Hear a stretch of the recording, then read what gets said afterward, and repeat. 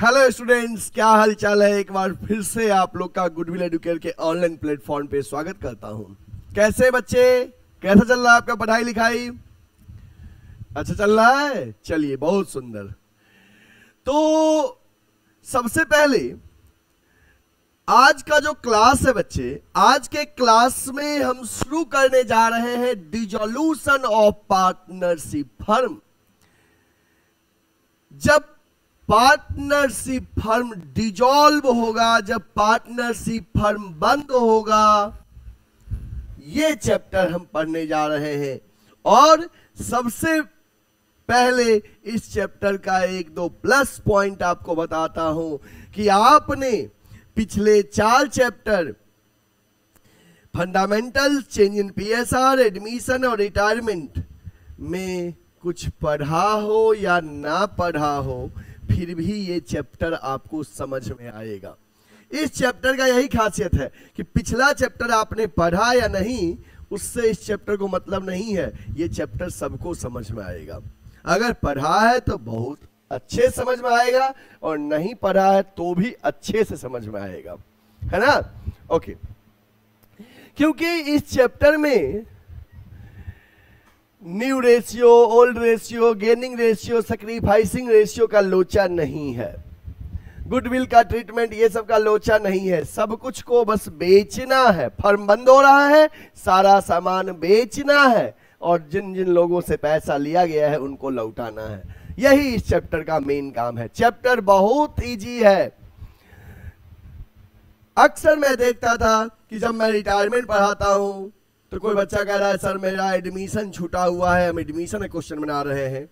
जब मैं एडमिशन पढ़ा रहा था तो कोई बच्चा कह रहा था कि, सर, मेरा फंडामेंटल छूटा हुआ है, हम उसका क्वेश्चन बना रहे हैं। लेकिन आपसे रिक्वेस्ट करेंगे, जब मैं डिजोल्यूशन पढ़ा रहा हूँ तो आप पिछले चैप्टर्स नहीं बनाएँगे, जो चैप्टर पढ़ा रहा हूँ, इसी क्वेश्चन बनाएँगे। समझ में भी आएगा।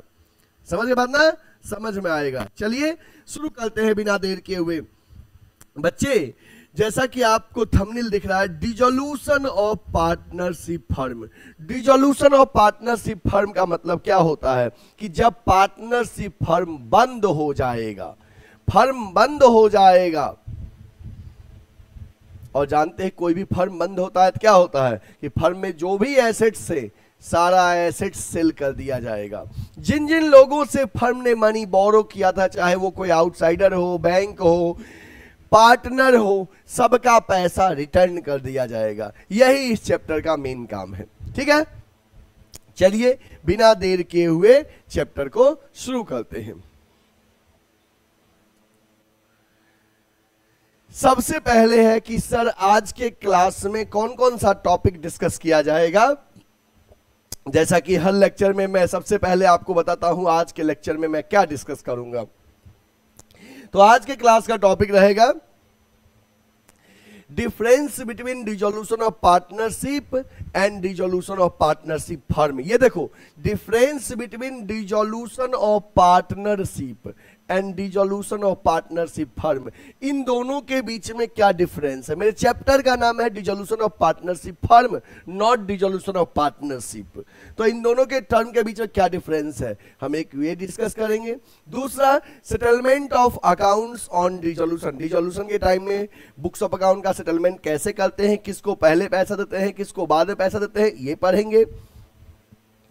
Difference between firms dept and private dept firm डेप्ट और प्राइवेट डेप्ट में क्या डिफरेंस है? ये पढ़ेंगे. And accounting procedure on dissolution of firm जब पार्टनरशिप फर्म डिजोल्व होगा तो क्या क्या अकाउंटिंग प्रोसीजर करते हैं? उसके सीक्वेंस क्या है? आज के क्लास में हम डिस्कस ये करेंगे. मोस्टली जो आज का क्लास है, ये थ्योरी क्लास है. और इस थ्योरी को अच्छे समझिएगा, क्योंकि थ्योरी समझ में आएगा. तभी न्यूमेरिकल समझ में आएगा, ठीक ना? इसलिए अच्छे से पढ़िएगा। इधर उधर बयान, बिना ध्यान भट, भटकाए हुए आपका ध्यान आज के क्लास पे होना चाहिए। चलिए, शुरू करते हैं। शुरू करने से पहले, सबसे पहले आपसे एक रिक्वेस्ट करेंगे कि सबसे पहले सेशन को एक लाइक कीजिए। सबसे पहले आज के सेशन को आप लोग लाइक करिए, तब शुरू करने जा रहे हैं। देख लीजिए, किए हैं या नहीं किए हैं। ओके कर दिए? गुड देखिए सबसे पहला टॉपिक जो था difference between dissolution of partnership and dissolution of partnership firm dissolution of partnership और डिजोल्यूशन ऑफ़ पार्टनरशिप फर्म में क्या डिफरेंस है? आज के क्लास में हम ये पढ़ेंगे।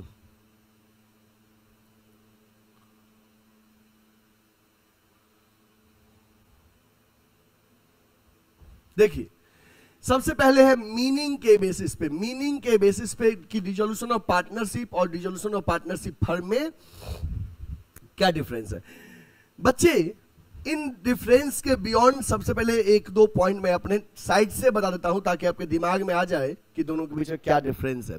बच्चे, अब तक इस चैप्टर से पहले जो चैप्टर आपने पढ़ा था फंडामेंटल को छोड़ के change in profit sharing ratio admission of a partner retirement of a partner death of a partner ये जो भी चैप्टर आपने इस चैप्टर से पहले पढ़ा था, वो था डिजोल्यूशन ऑफ़ पार्टनरशिप ठीक है? इससे पहले जो भी चैप्टर पढ़े थे change in P S R admission retirement death of a partner वो था डिजोल्यूशन ऑफ़ पार्टनरशिप जिसमें फर्म बंद नहीं हो रहा था। बस पार्टनर्स के बीच में रेशियो चेंज हो रहा था एग्रीमेंट चेंज हो रहा था फर्म का रिकंस्ट्रक्शन हो रहा था। था ना? बट अब जो चैप्टर पढ़ने जा रहे हो this is dissolution of partnership firm यहाँ पे फर्म बंद हो रहा है। यहाँ पे फर्म बंद हो रहा है। फर्म के सारे एसेट्स को सेल करेंगे। और जिन जिन लोगों से लोन लिया गया है, सबका लोन को वापस करेंगे। ठीक है? चलिए तो चैप्टर को शुरू करते हैं। मीनिंग डिजोल्यूशन ऑफ़ पार्टनरशिप में है। It refers to change in existing agreement between the partners firm continues its business dissolution of partnership में क्या होता है? चेंज इन एग्जिस्टिंग एग्रीमेंट कि पहले से जो एग्रीमेंट चल रहा है पार्टनर्स के बीच में, वो एग्रीमेंट चेंज होता है और नया एग्रीमेंट बनता है firm continues its business firm अपना बिज़नेस कॉन्टिन्यू रन करता है। But dissolution of partnership firm ध्यान रखो, इसमें जब फर्म बंद होगा it mean closure of business अब कोई एग्रीमेंट चेंज नहीं हो रहा है फर्म ही बंद हो रहा है। पहला क्लियर हुआ मीनिंग ना, कि डिजोल्यूशन ऑफ़ पार्टनरशिप में बस पार्टनर्स के बीच में एग्जिस्टिंग एग्रीमेंट चेंज हो रहा था। फर्म बंद नहीं हो रहा था चेंज इन पीएसआर में क्या हुआ था? पुराना agreement terminated new agreement formed admission में भी क्या हुआ?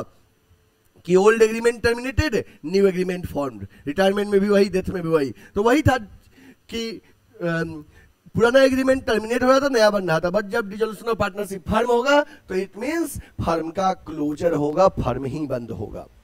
नेक्स्ट कॉन्टिन्यूशन ऑफ़ बिज़नेस अब सवाल है कि क्या डिजोल्यूशन ऑफ़ पार्टनरशिप में फर्म कंटिन्यूज रहता है? हाँ डिजोल्यूशन ऑफ़ पार्टनरशिप में फर्म कंटिन्यू चलते रहता है but dissolution of partnership firm वाले में फर्म का एंड हो जाता है फर्म ही बंद हो जाता है। सारे एसेट्स को बेच देते हैं, सारा लोन रीपे कर देते हैं ओनर का कैपिटल वापस कर देते हैं फर्म का बोर्ड हटा देते हैं और झोला लेते हैं घर की ओर चल देते हैं। क्योंकि फर्म ही बंद हो गया है। ठीक है? Next economic relationship economic relationship between the partners continues चलते रहता है। बस चेंज हो जाता है रिलेशनशिप बट चलते रहता है। और यहाँ पे इकोनॉमिक रिलेशनशिप एंड हो जाता है। अब कोई इकोनॉमिक रिलेशनशिप नहीं, फर्म ही बंद। Closure of books of account बच्चे डिजोल्यूशन ऑफ़ पार्टनरशिप में, पिछले वाले चैप्टर सब में बुक्स ऑफ़ अकाउंट क्लोज नहीं करते थे। बट इसमें सारे बुक्स ऑफ़ अकाउंट को क्लोज कर देंगे। सारे एसेट्स को सेल कर देंगे। सारे लोन का रीपेमेंट कर देंगे। जो ही लोन का रीपेमेंट किए थे बुक्स ऑफ़ अकाउंट क्लोज हो गया। ठीक है? Settlement of assets and liabilities dissolution of partnership में assets are revalued and liabilities are re assets पिछले चैप्टर में क्या कर रहे थे आप? एसेट्स को रीवैल्यू कर रहे थे लाइबिलिटीज को री असेस कर रहे थे। and gain or loss on revaluation is distributed among the partners in their old profit sharing ratio और जो भी गेन uh, या लॉस होता था वो ओल्ड प्रॉफिट शेयरिंग रेशियो में डिस्ट्रीब्यूट करते थे। बट यहाँ पे रीवैल्यूएशन नहीं करना है रियलाइजेशन करना है। Assets are sold and liabilities are paid off and balance if any distributed among the partners याद होगा?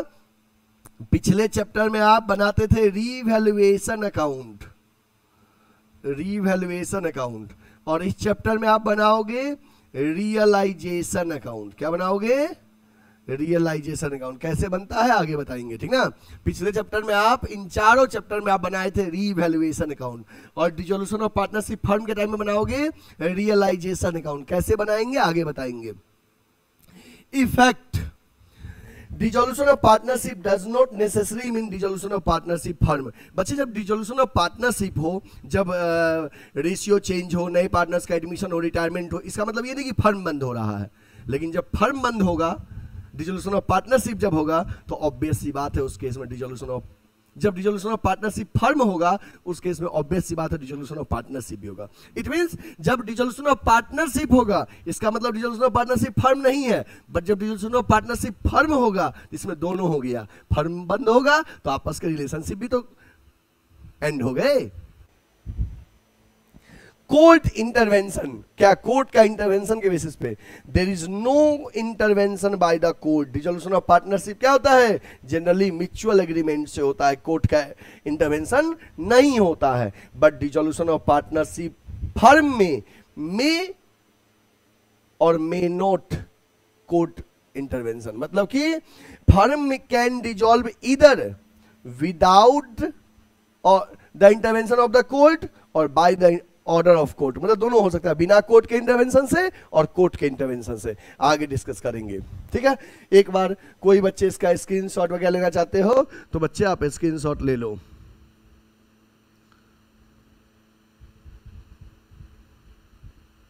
चलिए।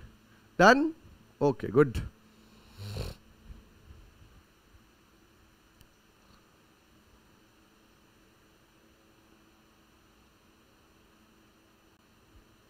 Next, dissolution of partnership. The partnership is deemed to be the partnership is deemed to be have been dissolved in the following cases. बच्चे partner dissolution of partnership partnership कब कब dissolve हो सकता है? पहला है in case of change in profit sharing ratio among the existing partner जब partners के बीच में जो लोग पहले से हैं, उनके बीच में जब रेशियो चेंज होगा तो पार्टनरशिप डिजोल्व हो गया। हम ये डिजोल्यूशन ऑफ़ पार्टनरशिप फर्म नहीं बोल रहे हैं। डिजोल्यूशन ऑफ़ पार्टनरशिप बोल रहे हैं। फर्म बंद नहीं हो रहा है। पार्टनरशिप का टर्मिनेशन हो रहा है। नया एग्रीमेंट फिर से बनेगा।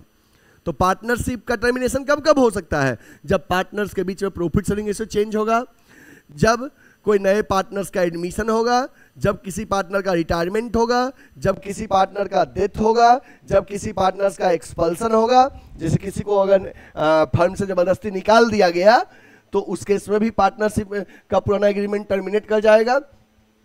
जब कोई पार्टनर इंसॉल्वेंट होगा और जब पार्टनरशिप जितने टाइम पीरियड के लिए बना था, वो टाइम पीरियड एक्सपायर हो जाएगा। तो ये सारे केसेस हैं जो पिछले चैप्टर्स में आपने पढ़ा था, वो था dissolution of partnership it means change in profit ratio case में एडमिशन के केस में रिटायरमेंट के केस में डेथ के केस में एक्सपल्सन के केस में, और जब कोई पार्टनर इंसॉल्वेंट हो जाए, और जब पार्टनरशिप फर्म जितने टाइम पीरियड के लिए बना था, वो टाइम पीरियड पूरा हो जाए। तो ये केसेस है आपके डिजोल्यूशन ऑफ़ पार्टनरशिप फर्म के सॉरी सॉरी पार्टनरशिप के।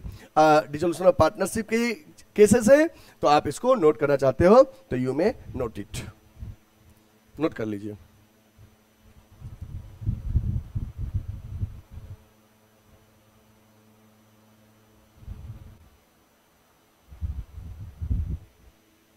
हो गया? Done okay okay. नेक्स्ट है dissolution of partnership firm dissolution of partnership firm dissolution of partnership firm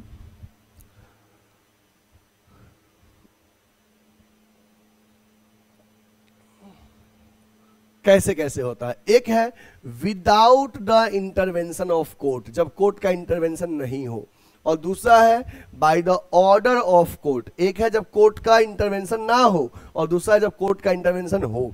तो बच्चे, जब कोर्ट का इंटरवेंशन नहीं होगा, उस केस में क्या है?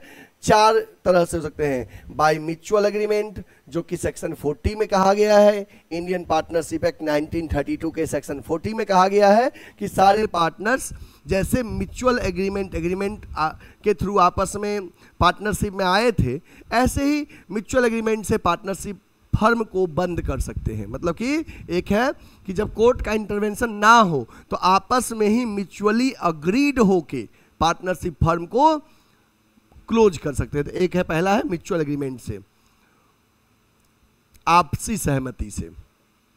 दूसरा है कंपलसरी डिजोल्यूशन कंपलसरी डिजोल्यूशन जो है, ये सेक्शन 41 में कहा गया है इंडियन पार्टनरशिप एक्ट 1932 के, और कंपलसरी डिजोल्यूशन में एक पॉइंट आपको मैं बता देता हूँ कि जब फर्म जो है, ये अनलॉफुल हो जाए,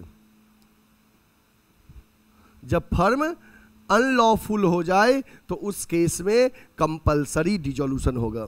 जब फर्म अनलॉफुल हो जाए तो उस केस में कंपलसरी डिजोल्यूशन होगा कि पार्टनरशिप फर्म को बंद करना पड़ेगा। जैसे कोई चीज़ कभी लीगल होता है, और कभी सरकार उसको इलीगल कह दे तो जब इलीगल हो गया तो आपको फर्म को बंद करना पड़ेगा ना। On happening of an event section 42 में कहा गया है। इसका मतलब यह है कि जब कोई इवेंट का हैपनिंग हो जाए इसमें यह भी हो सकता है कि जब किसी का डेथ हो जाए जब पार्टनर आ, सारे पार्टनर्स इंसॉल्वेंट हो जाए ठीक है? जितने टाइम पीरियड के लिए फर्म बना था वो टाइम पीरियड पूरा हो जाए।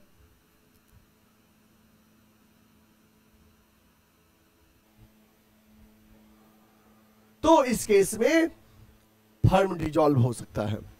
और एक है बाय नोटिस कोई भी एक पार्टनर्स नोटिस देके पार्टनरशिप फर्म बंद कर सक, कर सकता है। लेकिन नोटिस वाला जब होगा तो वहाँ पे पार्टनरशिप एट विल होना चाहिए। पढ़े थे ना? टाइप्स ऑफ़ पार्टनरशिप फर्म में क्लास इलेवेंथ में पार्टनरशिप एट विल जब अपने इच्छा जब तक चल रहा है, चलते रहेगा। तो अगर पार्टनरशिप का टाइप पार्टनरशिप एट विल है तो कोई भी पार्टनर नोटिस देके फर्म को क्लोज कर सकता है। ठीक है? ये था विदाउट इंटरवेंशन ऑफ़ कोर्ट इसमें कोर्ट का इंटरवेंशन नहीं हो रहा है। और एक है by the order of court जब कोर्ट का इंटरवेंशन होगा तो कोर्ट का इंटरवेंशन कब होगा? जब कोर्ट को लगेगा कि no chance of profit except losses जब फर्म को लगेगा कि प्रॉफिट का कोई चांस नहीं है, जब फर्म को लगेगा प्रॉफिट का कोई चांस नहीं है लॉस के सिवा तो कह देगा फर्म, कोर्ट कह देगा बंद कर दीजिए। कोर्ट कह देगा बंद कर दीजिए। ठीक है?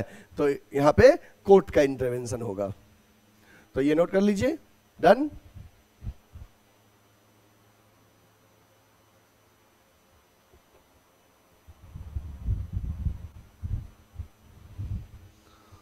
और इसमें एक पॉइंट और लिख सकते हो? When a partner has become unsound mind जब कोई पार्टनर अनसाउंड माइंड हो गया अनसाउंड माइंड का मतलब होता है दिमाग उसका संतुलित नहीं है तो वो मे बी रॉन्ग डिसीज़न ले सकता है, इसलिए पार्टनर कोर्ट कहता है, भैया, फर्म को बंद कर दो। ठीक ना? तो ये आपका हो गया डिजोल्यूशन ऑफ़ पार्टनरशिप फर्म के modes without the intervention of court और by the intervention of court you may take it screenshot और you want to note note it next settlement of accounts on dissolution settlement of accounts on dissolution जब firm बंद होगा तो books of account का settlement कैसे करेंगे sir किसको पहले पैसा देंगे, किसको बाद में पैसा देंगे? इसका सीक्वेंस क्या है, ये बता दीजिए। देखिए, बच्चे, जब फर्म बंद होगा तो सबसे पहले क्या करेंगे? फर्म बंद होता है तो सारे असेट्स जो भी असेट्स होते हैं, उसको रियलाइज़ करते हैं। क्या करते हैं? रियलाइज़ करते हैं। रियलाइज़ का मतलब होता है converted into cash converted into cash कि जब फर्म बंद होगा तो सारे एसेट्स को कैश में कन्वर्ट करेंगे। जितने भी एसेट्स हैं लैंड है बिल्डिंग है मशीन है फर्नीचर है क्वेश्चन में दिया रहेगा कौन सा एसेट्स कितने में बिका है। फर्म बंद होगा तो सारे एसेट्स को कैश में कन्वर्ट करेंगे। आफ्टर कन्वर्जन जब पैसा आ जाएगा तो हम क्या करेंगे? लाइबिलिटीज को पे करेंगे। लाइबिलिटीज पे करेंगे। तो यहाँ पे पहले है कि एसेट्स जब रियलाइज़ हो गया तो first of all after realisation of assets liabilities pay करेंगे। तो first of all outside dept of the firm will be paid सबसे पहले लाइबिलिटी जो पे करेंगे, उसमें कौन सा लाइबिलिटीज पे करेंगे? आउटसाइड लाइबिलिटीज जो सीक्वेंस रहेगा, वो रहेगा लाइबिलिटीज पे करेंगे। आउटसाइड जो एक्सटर्नल लोन है आउटसाइड लाइबिलिटीज पे करेंगे सबसे पहले। ठीक ना? That is external loan external loan का मतलब हो गया, जैसे बैंक लोन हो गया क्रेडिटर हो गया बैंक ओवरड्राफ्ट हो गया। ठीक है? तो जो भी आउटसाइड लाइबिलिटीज होगा फ़र्स्ट ऑफ़ ऑल वो पे करेंगे। ध्यान रखना है आउटसाइड लाइबिलिटीज है पार्टनर्स लोन नहीं आता है। चाहे आप पार्टनर्स के रिलेटिव से लोन लिए हो, वो एक्सटर्नल में आएगा। बैंक लोन हो। ठीक है? बैंक लोन हो क्रेडिटर हो बैंक ओवरड्राफ्ट हो बिल्स पेबल हो बिल्स पेबल हो ये सब आउटसाइड लाइबिलिटीज में आता है तो first of all outside liabilities will be paid इसके बाद पहला पे हो गया। Out of the remaining amount अब आउटसाइड लाइबिलिटीज पे करने के बाद जो पैसा बचा loan advance by partner will be paid off उसके बाद आउटसाइड लाइबिलिटीज के बाद सेकेंड नंबर पे रहेगा पार्टनर्स लोन पे करेंगे। क्या पे करेंगे? पार्टनर्स लोन ठीक है? और एक बात बता दूँ आपको कि डिजोल्यूशन में ध्यान रखना है कि मान लो ए बी सी अगर पार्टनर है तो मिसेज ए लोन रहेगा मतलब ए की वाइफ लोन दी है तो वो एक्सटर्नल लाइबिलिटीज में आएगा आउटसाइड लोन में। और miss A miss B loan partner है, उस केस में मिस्टर ए लोन ए का हस्बैंड जो लोन दिया है वो एक्सटर्नल में आएगा। मतलब कि अगर मे, मेल पार्टनर है तो उसकी वाइफ का लोन एक्सटर्नल में जाएगा। फीमेल पार्टनर है तो उसके हस्बैंड का लोन एक्सटर्नल में जाएगा। इस बात को ध्यान रखना है। ठीक ना? यहाँ पे ये मत सोचेगा कि अच्छा उसकी वाइफ दी है पार्टनर की वाइफ दी है तो इंटरनल में जाएगा। नहीं पार्टनर की वाइफ पार्टनर नहीं है वो एक्सटर्नल में जाएगा। ठीक ना? पार्टनर का लोन अलग से इंटरनल का पार्ट है बट पार्टनर्स का कोई भी रिलेटिव लोन दे दैट इज़ एक्सटर्नल ठीक है? इस बात को ध्यान रखना है। तो पहले आउटसाइड लोन पे कर दिए एक्सटर्नल लाइबिलिटीज पे कर दिए। एक्सटर्नल लाइबिलिटीज के पेमेंट के बाद कि पार्टनर ने जो लोन दिया, वो पे कर देंगे, ठीक ना? There after the balance of the partners capital will be return इसके बाद जो पार्टनर्स का कैपिटल है, सारे एडजस्टमेंट के बाद वो रिटर्न कर देंगे partner capital if some amount remains इसके बाद भी अगर कुछ पैसा बचता है will be divided among the partners in their profit sharing ratio एक बात याद रखना, इसके बाद कुछ पैसा बचेगा पार्टनर्स में प्रॉफिट शेयरिंग रेशियो में बांट देना। लेकिन यहाँ पे ध्यान रखना कि इस चैप्टर में आपको old ratio gaining ratio new ratio sacrificing ratio का लोचा नहीं है। जो रेशियो दिया रहेगा क्वेश्चन में, उसी में बांटना। रेशियो नहीं दिया है इक्वल मान लेना। ठीक ना? तो एक बार इसको रिकॉल कर दे। देखो बच्चे, जब फर्म बंद होगा तो सबसे पहले सारे एसेट्स को बेचोगे, बेच के जो पैसा आएगा, है ना, उससे क्या करोगे? सबसे पहले एक्सटर्नल लाइबिलिटीज पे करोगे। एक्सटर्नल मतलब होता है कि जो आउटसाइडर लोन है पार्टनर्स कैपिटल पार्टनर्स लोन को छोड़ के पार्टनर्स कैपिटल पार्टनर्स लोन को छोड़ के बाहरी लोगों से जो लोन लिया गया है क्रेडिटर है बैंक लोन है बिल्स पेबल है बैंक ओवरड्राफ्ट है all these are external loan you will pay first of all external loan ठीक है? इसके बाद आ, उसके बाद एक्सटर्नल पेमेंट करने के बाद अगर पार्टनर लोन दिया है बैलेंस के लाइबिलिटी साइड में पार्टनर्स लोन दिख रहा है देन पार्टनर्स लोन पे करोगे। पार्टनर्स लोन के पेमेंट के बाद देन पार्टनर्स कैपिटल का पेमेंट करोगे? After all adjustment after date अगर कुछ पैसा बच रहा है प्रॉफिट शेयरिंग रेशियो में पार्टनर्स में, बांट दो। These will be the steps for the settlement of low accounts on dissolution you may take screenshot और wants to note note it हो गया done okay next difference between firm dept and private डेप्ट। अब सवाल है बच्चे, कि firm डेप्ट और private डेप्ट में क्या डिफरेंस है? Difference between firm dept and private डेप्ट, दोनों में क्या डिफरेंस है? चलिए देखते हैं। फर्म डेप्ट का मतलब है ऐसा लोन जो फर्म ने लिया है बिज़नेस ने लिया है। और प्राइवेट डेप्ट का मतलब है ऐसा लोन जो कोई पार्टनर इंडिविजुअली लिया है। ठीक ना? तो फर्म डेप्ट और प्राइवेट डेप्ट में क्या डिफरेंस है? मीनिंग मीनिंग फर्म डेप्ट में है कि firm dept refers to dept payable by the firm to outsider firm dept refers to firm dept refers to dept payable by the firm to outsider firm डेप्ट का मतलब क्या है? ऐसे डेप्ट जो फर्म आउटसाइडर को पे करेगा। ऐसे डेप्ट जो फर्म आउटसाइडर को पे करेगा, उसे फर्म डेप्ट कहते हैं। मतलब कि फर्म ने लिया है लोन अब फर्म आउटसाइडर को पे करेगा। Private dept refers to the dept payable by the partner to his personal capacity मतलब कि कोई प्राइवेट डेप्ट का मतलब है पार्टनर अपने पर्सनली लिया है पर्सनल कैपेसिटी से पे करेगा। Who is liable for firm dept all partners are liable firm के डेप्ट के लिए सारे पार्टनर लाइबल है, क्योंकि फर्म में सारे पार्टनर को कंबाइंड रूप से फर्म कहते हैं तो सारे पार्टनर लाइबल हैं ज्वाइंटली फर्म डेप्ट के लिए। For but for private dept only concern partner is liable जिसने लिया है, वही लाइबल है। एप्लीकेशन ऑफ़ फर्म्स प्रॉपर्टी अब सवाल है कि फर्म का प्रॉपर्टी का अप्लाई कैसे होगा? तो firm's property is applied first of all towards the payment of firm डेप्ट देखो फर्म का जो प्रॉपर्टी है, इसको सबसे पहले फर्म के डेप्ट को पे करने के लिए यूज़ किया जाएगा। इसके बाद प्राइवेट डेप्ट में है कि concern partner share in access of firms property over firm डेप्ट can be applied towards the payment of his private डेप्ट अगर मान लो कि कोई भी पार्टनर का शेयर जो है फर्म के डेप्ट से अगर ज़्यादा है, पैसा बच रहा है तो उसका प्राइवेट डेप्ट में यूज़ हो सकता है फर्म का प्रॉपर्टी अदरवाइज़ नहीं होगा। Application of private property private property में कह रहा है कि surplus of surplus of partners private property over his private डेप्ट देखो, यहाँ पे ध्यान रखना है कि अगर उसका प्राइवेट प्रॉपर्टी उसके प्राइवेट डेप्ट से ज़्यादा है can be applied towards payment of firm debt तब उस एक्सेस वाले से फर्म का डेप पे, पे हो सकता है। बट यहाँ पे है प्राइवेट डेप में private properties applied first towards the payment of private dept private property से सबसे पहले प्राइवेट डेप पे करना है। एक्सेस रहेगा प्राइवेट प्रॉपर्टी तब फर्म का डेप पे करना है, ठीक ना? सिंपल सी बात आप दिमाग में बैठा लो कि फर्म डेप मतलब जो बिज़नेस ने लोन लिया है, और बिज़नेस ने लोन लिया है तो उसके लिए सब पार्टनर लाइबल है। प्राइवेट डेप मतलब कोई पार्टनर अगर पर्सनली अपने नाम पे लोन लिया है, वो प्राइवेट डेप्ट है, और प्राइवेट डेप में वही पार्टनर लाइबल रहेगा जिसने लोन लिया है। जिसने लोन लिया है, वही लाइबल रहेगा। ठीक है? नोट कर लीजिए इसको।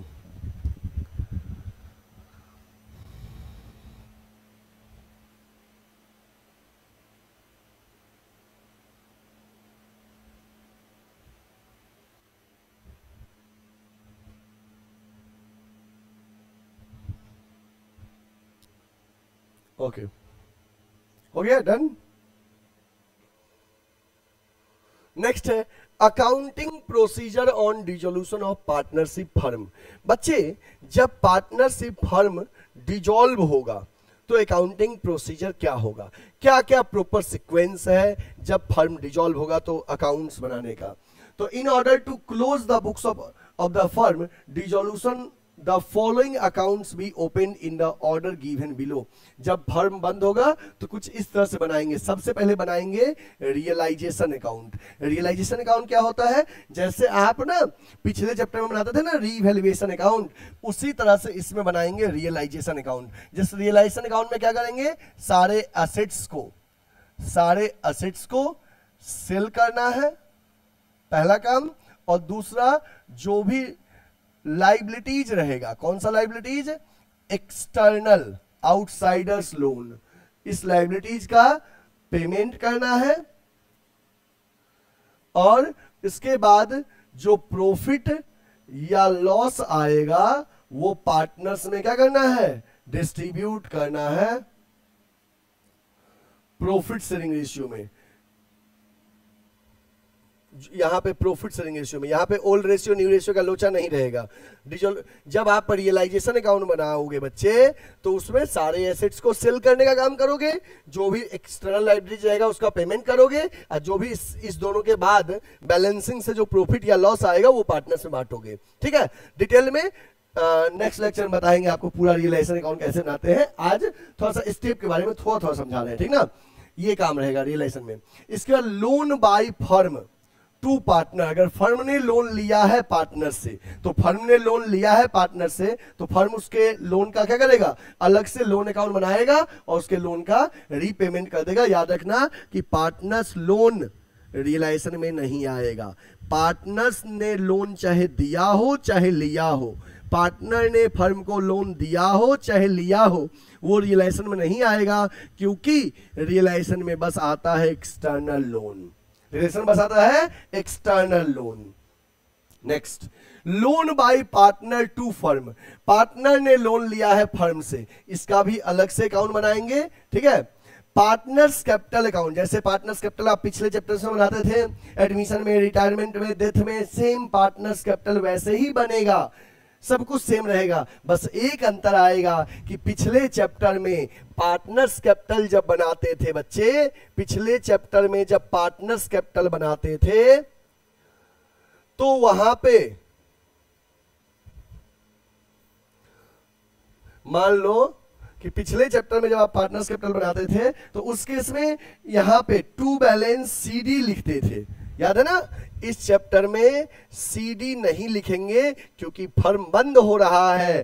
फर्म बंद हो रहा है तो उस पार्टनर को पे करिएगा तो टू बैंक लिखिएगा। फाइनल एडजस्टमेंट करके जो आएगा, इधर का टोटलिंग करके यहाँ जो बैलेंसिंग से जिसको सीडी लिखते थे, इस चैप्टर में सीडी ना लिख के टू बैंक कि सब पार्टनर को पे कर दिए। अब किसी का कोई बैलेंस नहीं बचा। भैया, आपका कैपिटल का सारा हिसाब किताब हो गया। अब आप लोग और सभी पार्टनर्स के बीच में जो इकोनॉमिक रिलेशनशिप था, वो एंड हो जाएगा। अब पार्टनर नहीं रह गए, ठीक ना? तो टू बैंक ध्यान रखना कि पार्टनर्स कैपिटल सब कुछ वैसे ही बनेगा, बस सीडी ना लिख के टू बैंक क्योंकि इसके बाद बैलेंस रखना ही नहीं है।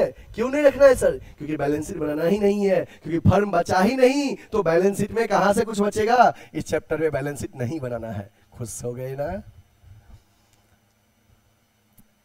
नेक्स्ट लास्ट में इसके बाद एक बनाना होता है कैश और बैंक अकाउंट। या तो कैश या तो बैंक। इसमें ये अकाउंट बनाते हैं किसके लिए? एक्यूरेसी जानने के लिए।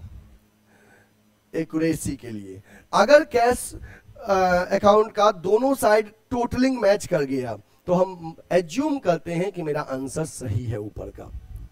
यही एक्यूरेसी की सब कुछ सही से हो गया, कुछ बचा नहीं। नहीं मिला तो कुछ गलती है। ढूंढो अब क्या नहीं मिला। है ना?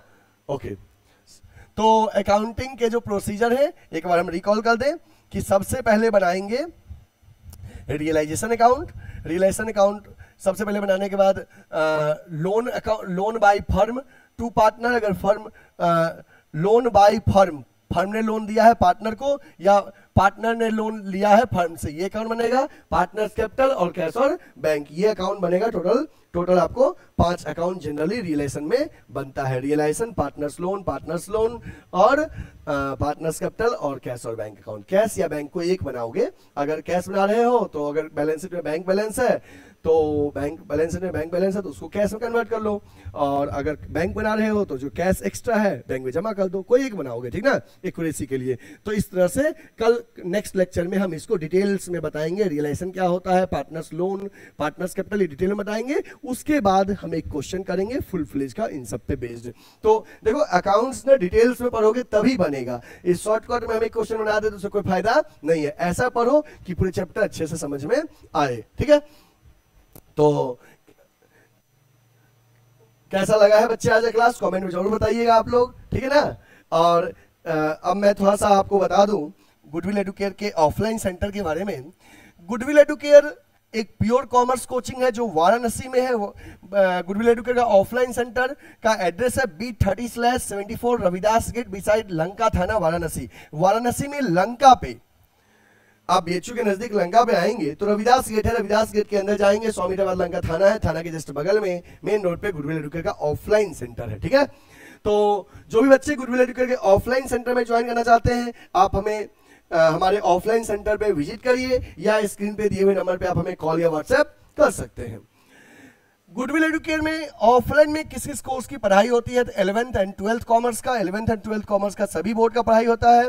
चाहे सीबीएसई बोर्ड हो स्टेट बोर्ड हो आईसीएसई बोर्ड हो but medium English medium English सी जो एग्ज़ाम है B H U D U A U में के लिए एंट्रेंस एग्ज़ाम सीयूटी का प्रिपरेशन होता है B com and M com entrance के लिए. कोई बच्चे को अगर बी कॉम या M com entrance